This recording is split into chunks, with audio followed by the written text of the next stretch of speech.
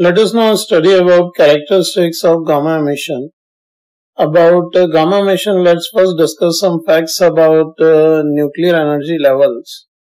Uh, we already studied about atomic energy levels and here we can write that uh, just like atoms,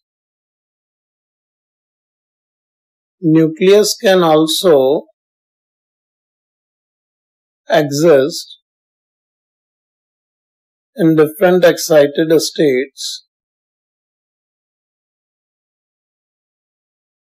which are quantized.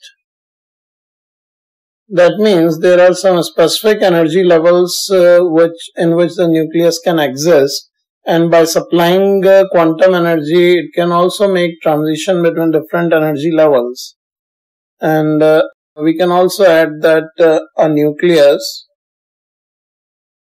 can also be excited to a higher nuclear energy level uh, by absorption of quantum energy.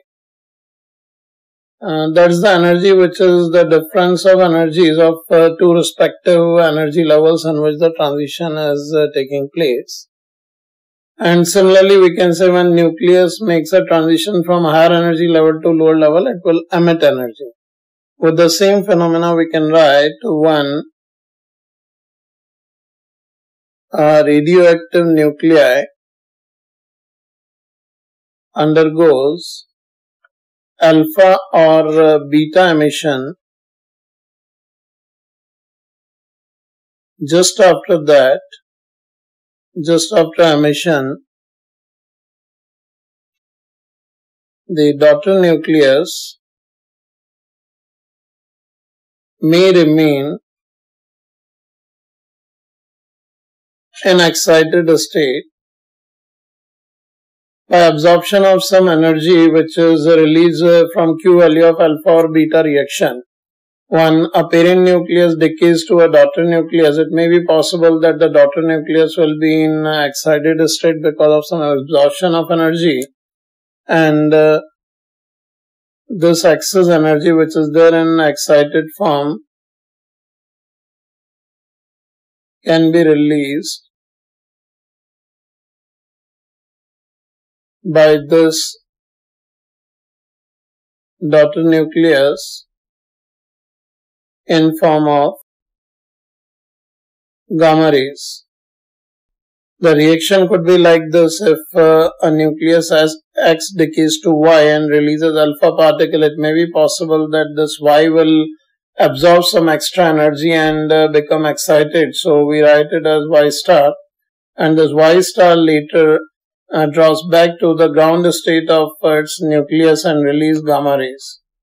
So this is the complete reaction which takes place in which X uh, uh, decays to Y with the alpha particles as well as gamma rays emitted after some time.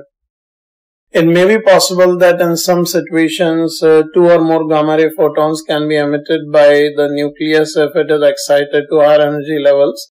Just like in a situation from a higher energy level an electron makes a transition to lower energy level and it may emit two or more photons the situation can be seen here in a realistic way. Here you can see this is uh, the parent nucleus of a radionuclide X, which uh, here we can see emits uh, an alpha particle and as soon as it emits alpha particle, the remaining daughter nucleus Y is in excited form. Here the excitation of this daughter nucleus we are showing in form of uh, a dark red glow in the surrounding of the nucleus and after a short duration, it may be possible that uh, this recoiling daughter nucleus emits a gamma ray photon in some direction and recoils in some other direction. And here the gamma ray photon contains the energy of excitation when the nucleus uh, reaches its normal level.